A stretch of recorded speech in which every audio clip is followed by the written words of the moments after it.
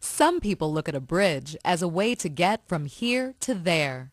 Civil engineering technicians look at the bridge as a series of challenges that have to be solved. Where should it be built? How much will it cost?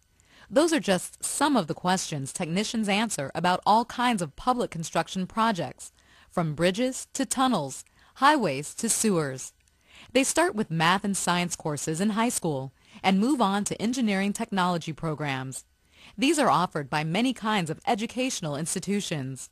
So it's best to find one approved by ABET, the Accredited Board for Engineering Technology. After graduation, young engineers work alongside experienced technicians. They learn how to evaluate sites, as well as how to plan and oversee construction projects. With public works always underway, there is a steady demand for civil engineering technicians. To succeed, you need to be comfortable working on a team, doing strenuous work outdoors in different types of weather, as well as handling complex calculations on a computer.